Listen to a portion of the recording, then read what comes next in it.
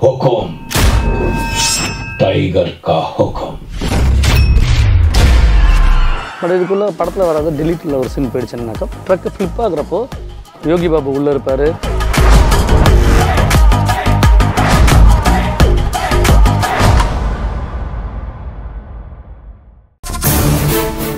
மேகல என் தம்பி சொல்றத செய்யறவன் அவன் பேச்ச மீறி நிச்சயதார்த்தத்துக்கு போனேன் அதுக்கப்புறம் இவ்வளோ பெரிய வீட்ல நீ சக்கரை நாற்காலியில் அலையிற மாதிரி ஆயிடாத.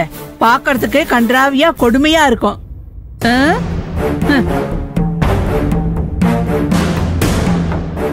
மம்மி? டாடி அத்தையும் அவங்க பங்குக்கு என்ன சொல்லணுமோ சொல்லிட்டு போயிட்டாங்க. ஆனா மெயின் ஆட்டம் உனக்கும் எனக்கும் தானே? என்கிட்ட தானே நீ சவால்லாம் விட்ட? அதனால நான் எதுவும் சொல்லாம போனா நல்லா இருக்காதுல்ல? வேணா வேல்விழி. ரொம்ப ஆடாத. இன்னும் ஆட்டமே ஆரம்பிக்கல மம்மி. இப்பதான் தாரத்த பட்டையெல்லாம் அடிக்க ஆரம்பிச்சிருக்கு. இனிமேதான் ஆட்டம் காலகட்ட போகுது. என்ன சொன்ன மம்மி? எங்களை கூப்பிட்டா நாங்க நிச்சயதார்த்தத்தை நடத்த விடாம தடுத்து நிறுத்திடுவோமா?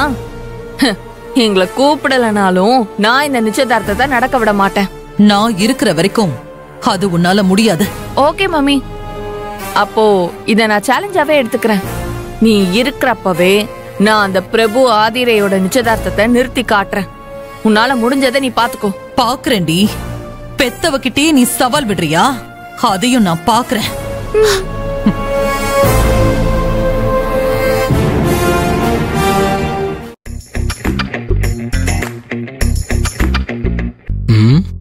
மச்சாங்கிட்ட இருந்து ஃபோனையே காணோம். நாம ஒரு வாரம் லீவ் போட முடியாதுன்னு சொன்னதுனால பயபுல கோச்சிட்டு இருக்கானோ? எதுக்கும் தூங்குறதுக்கு முன்னாடி நாமளே ஒரு ஃபோனை போட்டு பேசிடுவோம். இல்லைனா குடுகுடுப்புக்கார மாதிரி நைட்டு பன்னெண்டு மணிக்கு ஃபோனை போட்டு டார்ச்சர் பண்ணுவான். ம். ஆதிரைக்கு ஃபோன் பண்ணி பார்ப்போமா இல்லை இல்லை இல்லை. வேணாம் வேணாம். அவங்க அம்மா கூட இருப்பாங்கன்னு சொன்னா யாரும் இல்லைன்னா ஃபோன் பண்ணுறேன்னு சொல்லியிருக்கால எப்படியும் கூப்பிடுவான். ஆ, ஆஹா. ஆதரை தான் கூப்பிடுறா.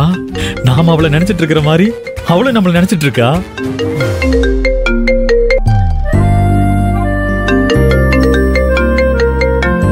ஆ? இந்த பையன் இப்ப எதுக்கு ஃபோன் பண்றான்?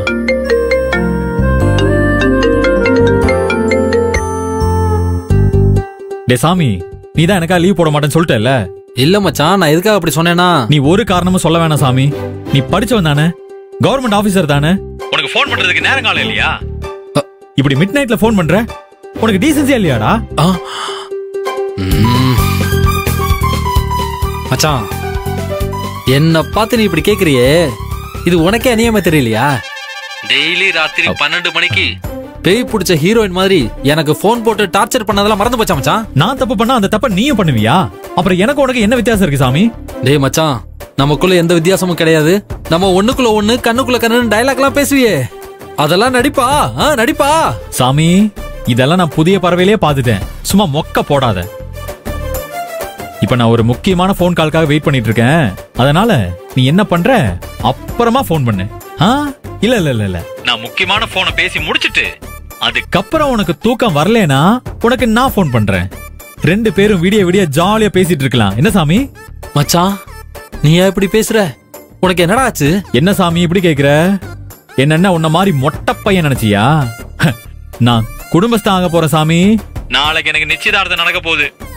அத பத்தி நானும் என் வருங்கால மனைவி ஆதரியும் சில பல விஷயங்களை பேசி டிஸ்கஸ் பண்ண வேண்டியிருக்கு. இதெல்லாம் நீயே புரிஞ்சுக்கிட்டு இங்கதான் நடந்துக்க வேண்டியதானே புரிஞ்சு போச்சு மச்சான் புரிஞ்சு போச்சு. பொண்ணு கிடைக்கிற வரைக்கும் நட்புனா என்னன்னு தெரியுமா? சூர்யானா என்னன்னு தெரியுமா டைலாக்லாம் பேசிட்டு? இப்போ பொண்ணு செட் ஆனதும் நண்பனை கழட்டி விடுற நீ? உனக்கெல்லாம் ஒளிமயமான எதிர்காலம் இருக்கு மச்சான். இருக்கு. சாமி உன்னை நான் கழட்டி விடுவேனா?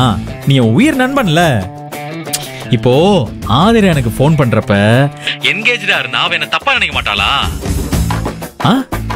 அப்படி என்ன தப்பா நினைச்சா அது உன்ன நினைச்ச மாதிரி இல்ல. தாங்கிக்க முடியாது. ஏன்னா நீ ட்ரிம் பண்ண தாடி வச்ச குழந்தை சாமி. உன்னால என் கல்யாணத்துக்கு ஒரு இடைஞ்சல் வந்துச்சுன்னு தெரிஞ்சதுன்னா நீ சூசைட் பண்ணிட்டு செத்துடுவ சாமி.